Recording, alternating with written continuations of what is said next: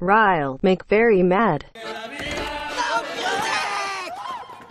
Hearing music riles grandma a great deal.